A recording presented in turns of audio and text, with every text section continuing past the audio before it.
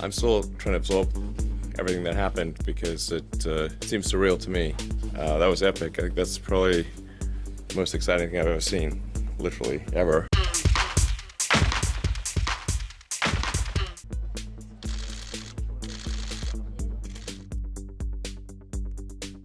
I sincerely hope that both the South and North will uh, not miss and rather seize this opportunity uh, to promote uh, further reconciliation.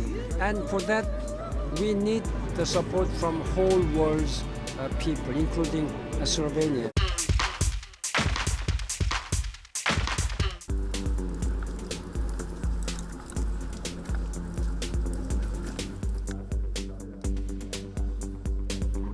so sardine bolj na široko, kot so naši bolniki Zelo včasih. neprijazno do bolnikov. Zelo neprijazno, absolutno, absolutno zelo neprijazno. Dobra volja, dobra energija, nuca bolj kot kakšna tableta.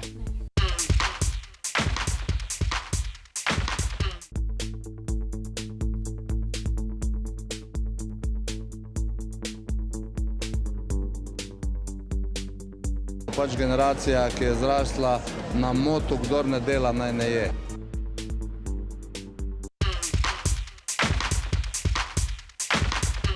Ker je oblastnikom vseeno za izgovorjene besede državljanov. Vseeno jim je, kaj pravijo šolniki, vseeno jim je, kaj dokazujejo znanstveniki in kaj tečnarijo umetniki. Značilnost današnjega časa ni demokracija, ampak ignoranca. In cenzura, in cenzura, spoštovani, cenzura obstaja. To je zdaj cenzura kapitala.